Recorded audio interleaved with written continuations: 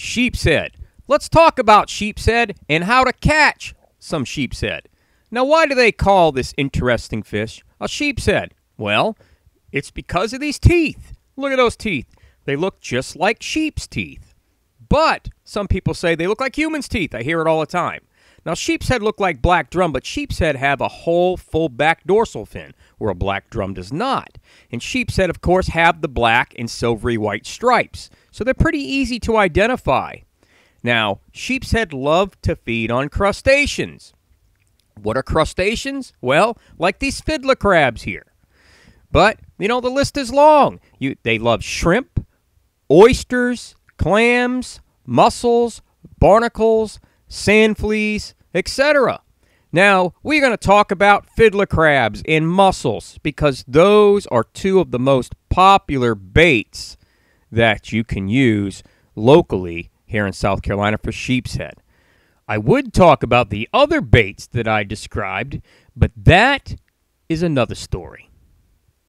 Now, where to sheep's head feed? Well, sheep's head loves structure. That's right, because structure is where a lot of crustaceans attach themselves. You have your barnacles, your oysters, and your mussels attach themselves to the structure. And then, of course, crabs and stuff find safety hiding amongst all the other crustaceans. Now, good locations to find sheep's head are along bridge footers, pier footers, dock pillars, uh, rocks, jetties, because that's a good place for crustaceans to attach themselves. But don't forget, sheep's head love to go up into the marshes during high tide to feed for the on those fiddler crabs and mud crabs and mussels. And of course, periwinkles. Now, South Carolina is definitely not known for its clear water. But if the water's clear enough and you look down around the structure, you can see sheep's head feeding. Now that's great because then you can sight fish them. But most of the time the water's dark, okay? So you have to figure out and guess where they are going to feed and place your bait. Now, if you could look under the water in the structure, what would you see?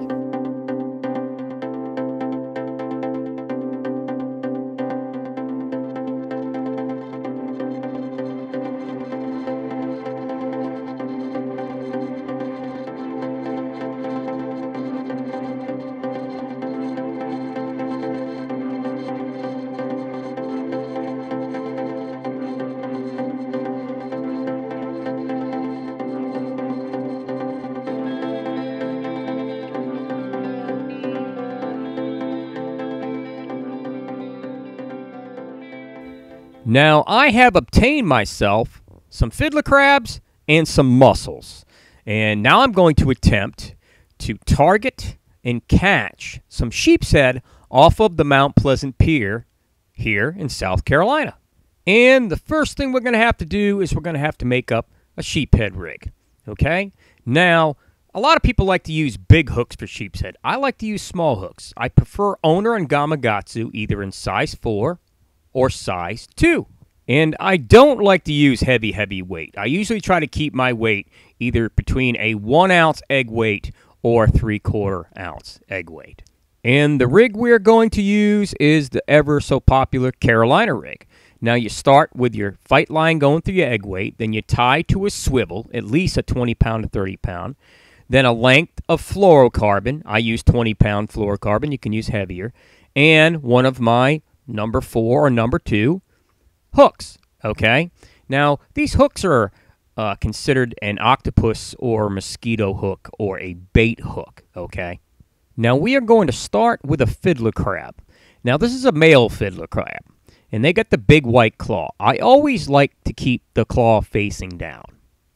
Then I take the hook and I go to the side of the crab on the top and I push through the side and then come out through the belly. Now, in most cases, the crab stays alive and it can walk around freely on the bottom while you're fishing. And if you notice, you cannot tell that that hook is there. You know it's there because you just saw me put it there. But if you're looking at a small distance, you'll never know that that small hook is in that crab. And either will the sheep's head.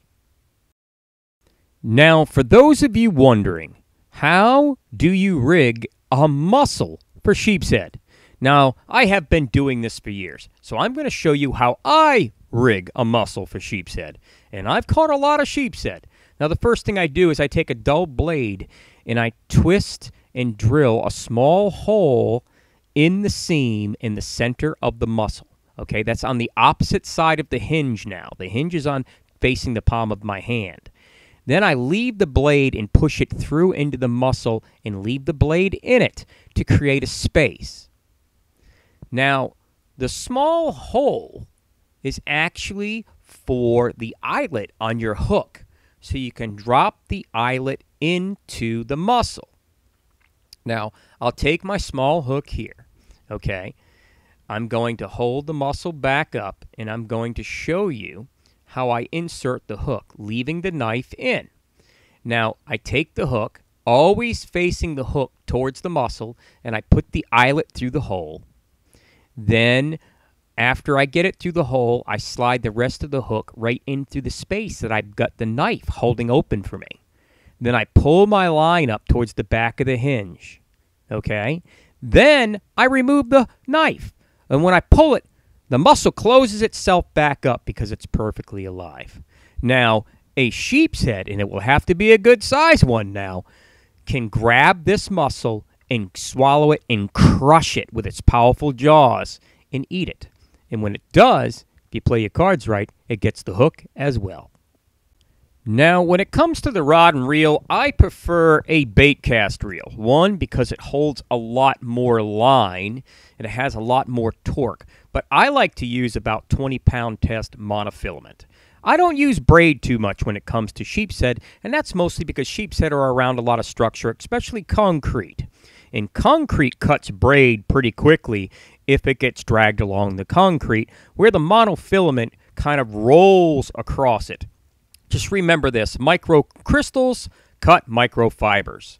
Now, if you look, I have my rod in hand. You can put a rod in a rod holder and wait it out and wait for a bite, but sheep's head, they're like ninjas. They are very sneaky. They can get your bait pretty quick. One of the biggest tricks to a sheephead is to lean into the bite, okay? So, if you feel the bite, lean forward a little bit lean with it, let the sheep head take it. That way, when it crushes your bait and vacuums it in its mouth, it doesn't pull it off the hook. You want it to actually take the hook in as well. Then go for your hook set. All right? Now, I have worked with a lot of people when it comes to fishing for sheep's head, and they turn out to be pretty successful most of the time. Most of them become a natural they get that feel for it. Like this young lady here just caught her first sheep's head. So I'm going to get a picture of her with her first sheep's head. And that is an accomplishment because, you know, these fish are not easy to catch. If they were, everybody would be landing them left and right like nothing. Okay, so like I was showing you earlier, I've got my rod in hand. Every now and then I look down around the structure to see if I spot a sheep's head.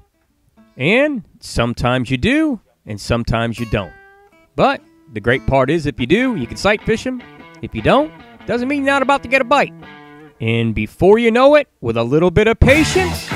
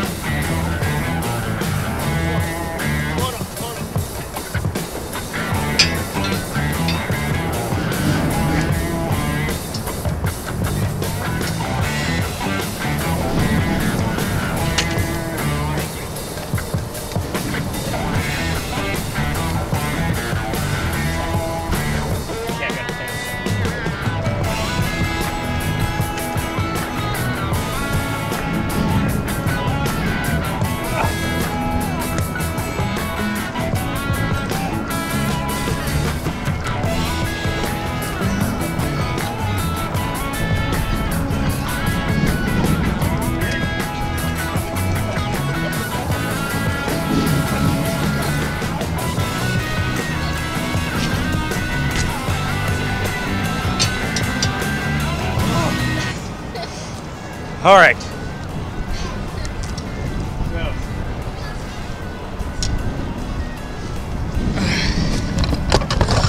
That was a fight and a half. Now, the objective with sheephead is you see this big bad boy here.